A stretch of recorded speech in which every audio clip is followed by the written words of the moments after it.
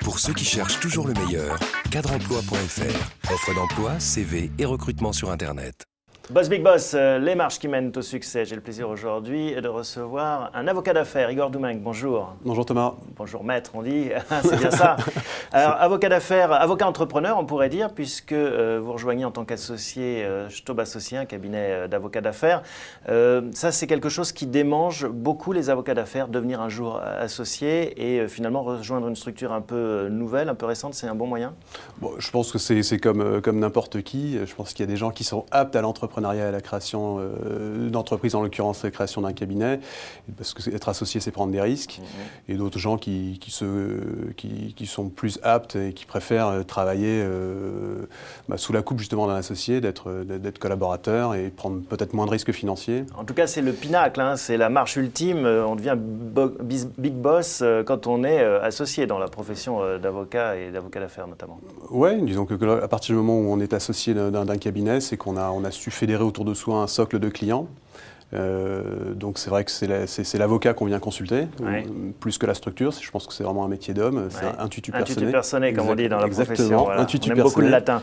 Euh, un métier plus de business ou plus de, de droit en fait? Parce qu'avocat d'affaires, c'est un peu nébuleux hein, pour certains. Euh, au final, est-ce que vous faites plus, vous êtes plus plongé dans le code civil ou plus bah, dans les réunions avec les clients autour de la table pour essayer de comprendre leurs enjeux économiques? Je, je vous répondrai que c'est c'est 50%, moi, 50-50 euh, Mm. la répartition. Et, et c'est vrai qu'il n'y a pas un seul dossier dans lequel j'ouvre pas mon code civil. Euh, et en même temps, euh, il, faut, euh, il, faut, il faut parfaitement comprendre les, mm, bah, les, les enjeux économiques euh, de l'entreprise qu'on défend. Donc, Ça, je c'est important, hein, s'intéresser à l'économie. Quand on est sur les, à, la, fac de droit, j'imagine, jeune avocat, et qu'on s'intéresse à cette profession d'avocat d'affaires, il faut se passionner pour le business. Oui, oui, absolument. Moi, je- tous les jours, je lis euh, les échos à la tribune. Ouais. Non, je, je pense que c'est c'est fondamental de, de bien comprendre les, les- les enjeux économiques et les problématiques financières auxquelles sont confrontés nos clients. Je pense que sans, euh, sans parfaitement comprendre l'activité, le business euh, de nos clients, on est, euh, ça paraît difficile de, de pouvoir euh, bah, Ouais. assurer le- les négociations avec les contreparties. Donc, je Les- pense qu'il faut parfaitement comprendre la- le, le business du client. Et puis après, on fait son CV, hein, les premières armes dans des grands cabinets anglo-saxons ou autres, qui sont finalement l'étalon hors de, de cette profession. Et c'est là qu'on apprend le- Je ne pense pas que les cabinets euh, anglo-saxons soient les étalons hors de la profession. Je pense qu'on a euh, à Paris en particulier des, des cabinets euh, français, franco-français, et je pense que ce sont eux les pépites du marché parisien. Euh, C'est pas un marché qui s'internationalise de plus en plus avec des fusions euh, et des, des Si, gros mais enfin, rapprochements toutes, les, toutes formes d'activité, toutes les fusions, euh, toutes les opérations de haut bilan qui peuvent euh, opérer en France sont nécessairement soumises au droit français. Donc je pense Mhm. qu'avant tout, il faut un spécialiste du droit français. Certes, il- la nécessité d'avoir un, un réseau est importante, puisque sur des opérations transnationales, il faut qu'on puisse s'appuyer sur, les- sur des connaissances de droits locaux. Mais je pense qu'à partir du moment où une activité euh, de haut bilan euh, s'opère à Paris, il est nécessaire de, en fait, de, de surtout avoir une maîtrise du droit français.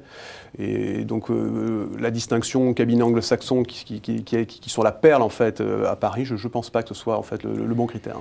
Alors, euh, quand on est sur les bancs de la fac, hein, on se retrouve avec euh, bah, des petits camarades qui vont devenir euh, pénalistes ou faire du droit civil, défendre la l'orphelin, euh, faire des divorces. Comment est-ce qu'on choisit finalement une branche plutôt que l'autre? C'est un hasard, c'est un goût? Non, oui, je pense que ce sont- c'est une attirance, ce sont des affinités. J'ai des amis qui, qui ont effectivement se sont orientés vers le droit pénal ou le, ou le- ou le contentieux civil.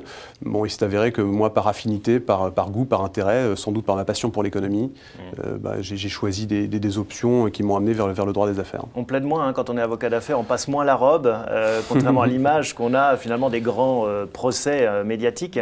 Euh, ça, c'est quelque chose euh, qu'il faut savoir. Alors, la première chose, c'est que je pense que tout avocat doit avoir dans son bureau accroché à un clou une robe d'avocat.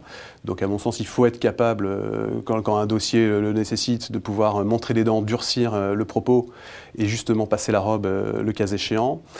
Vous noterez également que sur les grands dossiers médiatiques euh, actuels, je pense par exemple au dossier Société Générale, bah, vous, vous remarquerez qu'autour de la table, euh, beaucoup des avocats plaidants sont des avocats d'affaires. D'accord. Donc ça vous arrive encore et euh, j'imagine avec plaisir d'aller plaider finalement. Ça, ça m'arrive d'aller passer la robe. Là récemment, j'ai eu un, un contentieux sur, un, sur le non-paiement d'un- d'une dernière tranche de prix dans un contrat d'acquisition avec une société espagnole. Et voilà, et donc on s'est retrouvé au tribunal de commerce et on a gagné. Bon, Voilà. Bravo. Dernière question, en dehors du droit, en dehors des affaires. En dehors du droit, en dehors des affaires, euh, les amis, la famille. je cultive une passion pour, la, pour les arts de la table, les cigares, les vins. Donc, bien vivre, ça fait partie aussi de la panoplie d'avocats. J'espère. Merci Igor, à bientôt et bon vent pour cette nouvelle aventure. Merci Thomas.